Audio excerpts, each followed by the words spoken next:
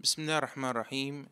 الحمد لله والصلاة والسلام على رسول الله وعلى آله وأصحابه أما بعد. فهذا هو المقطع السابع فيما يتعلق بالتقاسيم الفقهية على مذهب فقهاء الشافعية رحمة الله تعالى عليهم. وفي هذا المقطع أتناول تقسيما من المهم أن طالب العلم آه، يلم به لأنه قد يجده في بعض الكتب وقد آه، يشكل عليه فهمه.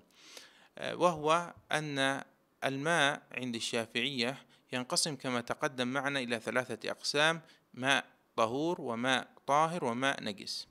الماء الطاهر إذا حصل أنه خالطه شيء من الطاهرات فسلبه اسم الماء المطلق بأن غيره غير فيه اللون أو الطعم أو الرائحة فإنه لا يصير طهورا يخرج عن كونه طهورا ويصير ماء طاهرا. وإذا حصل أن هذا الماء خالطه أو وقع فيه شيء نجس فغيره فإنه يصير ماء نجسا. إذا كان ماء كثيرا فلا بد أن يغيره. وإذا كان ماء قليلا فيكفي أنه آه، يلاقي النجاسة حتى يحكم بنجاسة هذا الماء. هنا نأتي إلى الماء. أولا نأخذ الماء آه الذي خلطه شيء من الطاهرات. الماء الذي خلطه شيء من الطاهرات إذا كان هذا التغيير الذي حصل للماء تغيير حسي بمعنى أنه يدرك بالحس يمكن إدراكه مثلا بالشم أو يمكن إدراكه بالبصر أو يمكن إدراكه بالطعم فهذا أمر واضح مفروغ منه. لكن إذا كان هذا التغير لا يدرك بالحس فيسمى عند الفقهاء التغير التقديري. فعندنا ماء طهور وقع في هذا الماء الطهور شيء طاهر يوافق الماء في صفاته مثلا ماء ورد منقطع الرائحة أو مثلا ماء مستعمل وقع في هذا الماء الطهور. فهل نحكم على هذا الماء الطهور الآن بأنه صار ماء آه، غير طهور؟ أي سلبت منه الطهورية أم لا؟ نقول هنا إذا حصل أن المادة التي خالطت الماء توافقه في الصفات فإننا ننظر ونقدر هذه المادة بما هو مخالف للماء في صفاته مخالفة متوسطة. فمثلا نقدر لو كان هذا هذه المادة عبارة عن عصير أو آه، مثلا آه، هذه المادة مثلا فيها رائحة اللبان ووقعت في الماء وقع فيها نفس المقدار فهل كان الماء سيتغير أم لا؟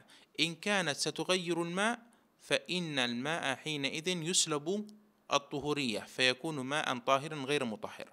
وإن كانت لن آه، تغير الماء فإن الماء لا يسلب الطهورية ويبقى الماء طهورا.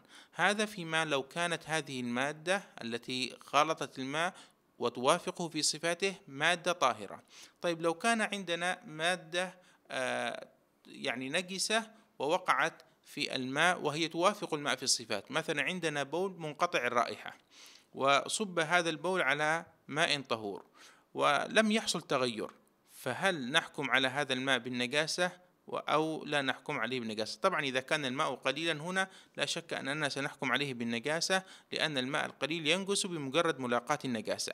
لكن إذا كان الماء كثيرا هل نحكم عليه بالنجاسة أم لا؟ نقول نقدر لو كانت هذا البول أو بمقدار الكمية نقدره مخالفا للماء في الصفات.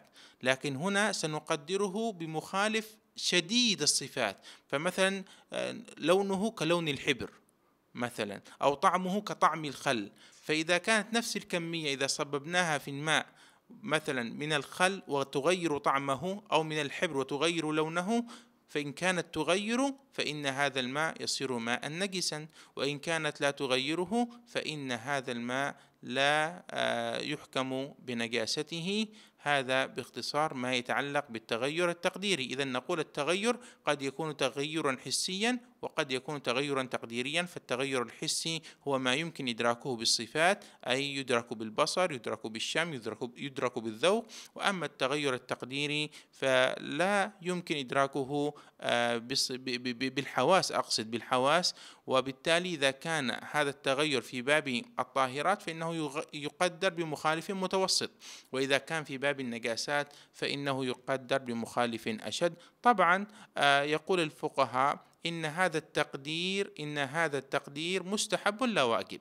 بمعنى لو أن الإنسان باشر يعني استعمال الماء في وضوء أو غسل هذا الماء الذي حصل فيه آه، أنه وقع فيه مثلا ما يوافقه في الصفات فب يعني باشر الوضوء به أو الغسل فإن آه، وضوءه يصح أو غسله يصح لأن الأصل أن الماء طهور ولا يخرج عن هذا الأصل بالشك لأن اليقين لا يزال بالشك كما في القاعدة المشهورة. والله أعلم. وصلى الله وسلم وبارك على نبينا محمد وآله وصحبه أجمعين.